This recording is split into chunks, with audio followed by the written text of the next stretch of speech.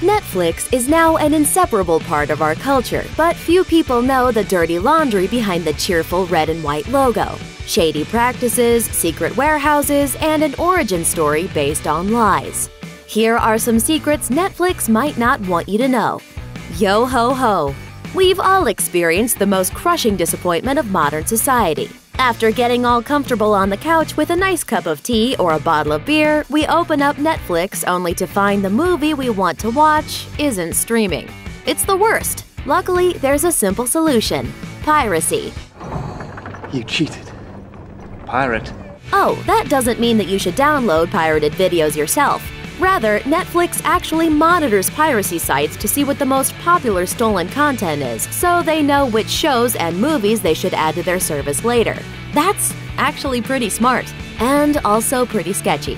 This also explains why the content on Netflix includes so many seemingly random movies and TV shows. Most likely, that content is hot on pirating sites, and Netflix is trying to get a piece of the action. It's in an ethical gray area, but nobody really cares as long as they constantly get rad new content, right? Secret safe houses.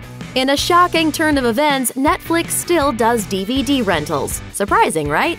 Even in this age of streaming video services, the DVD rentals still go strong. But how do they get the DVDs shipping so fast?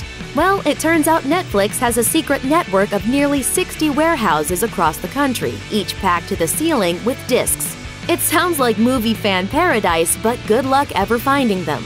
Not only are these warehouses unmarked, but the delivery vans that bring the discs to and from the warehouses are also unmarked. And employees even have to sign confidentiality agreements to never reveal the location of these secret warehouses. Frankly, you might have an easier time finding the warehouse holding the Ark of the Covenant. They'll throttle you. Remember when Netflix came under fire for intentionally slowing down streaming rates for certain wireless customers? In that case, they claimed it was to protect the viewers from exceeding their data limits and racking up big fees. But there's no such excuse to explain why Netflix purposefully ships DVDs slower to people who use the service more. Basically, Netflix doesn't want to pay the costs of constantly shipping discs from those secret warehouses to people who use the service a lot. So, in order to balance out their operating costs, they intentionally delay shipping discs to frequent users. The practice is called throttling, and you can probably see why. After all, after waiting a month for your copy of Eat, Pray, Love to arrive, you'll probably want to strangle someone. The blind leading the dumb. Enjoying TV and movies as a blind person is difficult, which is why most of them have a special audio track that narrates the action when there's no dialogue. Netflix is notorious for omitting this and infuriating blind customers. But that outrage reached a fever pitch when Netflix left the feature out of its original series Daredevil, which, of course, stars a blind superhero. Netflix responded to the controversy by promising to add blind accessibility to the show, which they eventually did months later, all the while blaming Marvel Studios for not including it in the first place. It just goes to show that with great power comes very little responsibility. The Forgotten Man.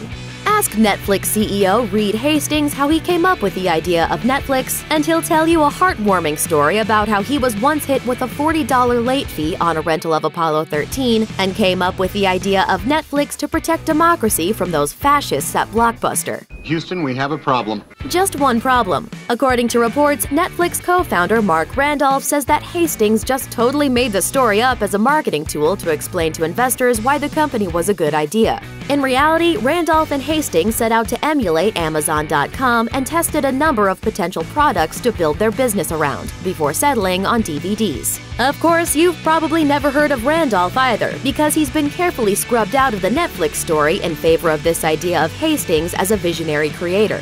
But Randolph was actually the company's first CEO, running Netflix for four years while Hastings was off attending grad school. Guy should probably at least get a thank you card instead of the brush off, you know? It will literally kill you. Everyone loves binge watching shows on Netflix. One problem it'll kill you. Studies show that binge watching can increase chances of mental health issues, causing an addiction to form and making viewers antisocial. And it's not just affecting our brains. Binge watching also wrecks our bodies, causing an increased risk of cancer and chronic diseases that come from a sedentary Netflix lifestyle. Plus, a Dutch study discovered that men who watched five or more hours of TV daily had 29% lower sperm concentration and 34% lower sperm count. They weren't able to figure out why, but it might have to do with throttling. The best option is to either watch your shows in smaller doses or watch shorter shows to begin with. So next time you're tempted to spend all day on the couch with Netflix, take our advice and just binge watch grunge YouTube videos instead. Your body and mind will thank us. Thanks for watching. Click the grunge icon to subscribe to our YouTube channel. Plus, check out all this cool stuff we know you'll love too.